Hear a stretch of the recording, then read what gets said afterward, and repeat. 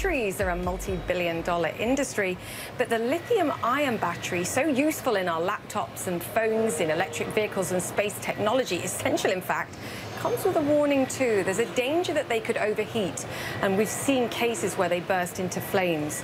Enter KULR Technology. They've developed a wrap for these batteries which combats that risk. In the chat room, Michael Mo, the CEO, who's going to see his protective devices fly all the way into space.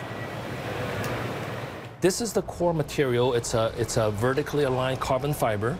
Uh, we make it here in, uh, in the U.S. We make it down in San Diego. Right. Uh, that's where our company is based out of.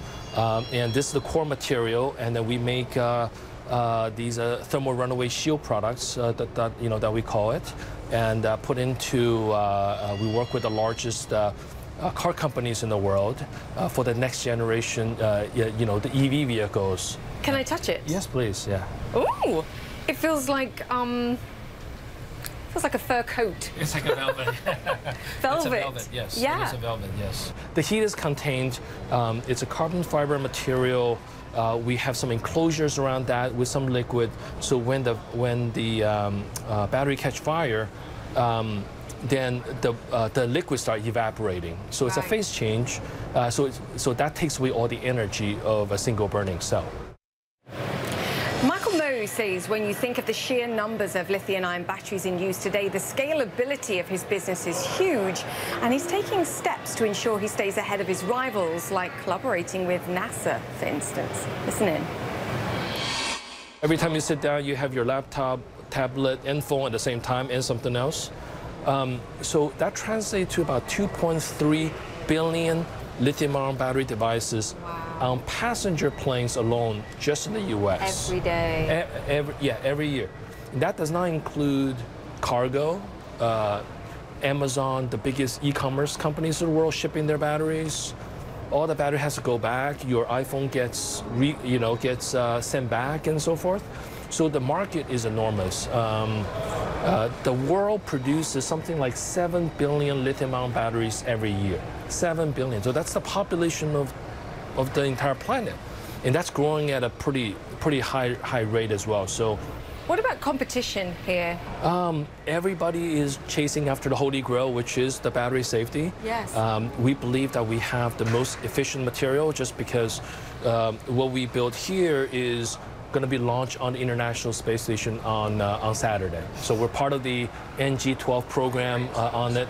Uh, we provide a containment solution to keep laptop batteries safe on the International Space Station. So uh, obviously that's the most expensive real estate in yes. the uh, in the world in the in the in the in the in the space. So they want to keep that uh, containment as compact as possible, um, and in case if a battery were to go to thermal runaway, have fire, nothing comes out of the bag because the last thing you can afford on the International Space Station is fire. The you know. So definitely want to contain that contain the fire, contain the smoke, contain the, uh, the explosion. So we're working with NASA and a company called Leidos, which is a good partner of ours. Uh, we, uh, since beginning of this year, and now the, the solution is totally qualified. It's part of the program, uh, the mission to be on the International Space Station, to be launched on this Saturday, actually. It's incredibly light. It also costs right now less than 10% of the lithium battery, which is clearly a huge expense in the technology that we're talking about here. He says the job now is to bring that cost down further. The company itself, KULR, not yet profitable. They're investing a lot of money, clearly, in the technology. They went public by direct listing last year, and he's upbeat about investor potential here and positive about combating things like piracy and protecting crucial intellectual property rights. Listen in. We believe that the big growth phase for us is ahead of us. So now we're on the public platform. Uh, average investor can participate. So hopefully we can, uh, everybody can enjoy the growth with us. Final question, and it goes to the US-China trade deal situation and the difficulties of agreeing patent protections, technology protections for intellectual property like your own. Yes. How important is it as an entrepreneur that's developing something so unique to have those protections? Yeah, I think protection is important, you know, in every part of the world, yes. right? So to just we've been very focused on the U.S. market. Uh, uh, uh, you know, so far, uh, our, I think 100% of our customer base has been U.S. Yes. European customers, um, because you know uh, the scale and the cost point is is at that point right now. Um, but I think that you go into these emerging markets, uh, patent protection is very very important. It's also very important to work with the right partner for that local market because I think every local market, the pricing is different, the economics is different, the distribution is different, and the user behavior is different. There's a huge electric vehicle opportunity in China. Yes. Are you talking to Chinese companies too? Uh, yes, we're working with partners to for that distribution. I believe that you have to find the right partner for that. Yes. Uh, going there alone is very challenging. It's a huge market, uh, and the design time is long, right? Um, So you gotta work with the right right partner. Uh, we're in discussion with the right partner to get into the right business model to support them.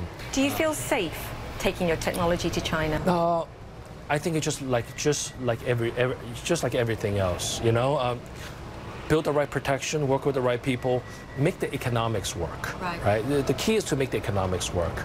Uh, I think you know, even back in the day when you have. Uh, uh, music sharing and so forth, and then so Apple's of the world, Spotify of the world, made it uh, more expensive to steal the music than just to buy a subscription. So if you can create a business model, this is what I believe in. You have to create a business model where it's going to be more costly for people to steal from you than to partner with you.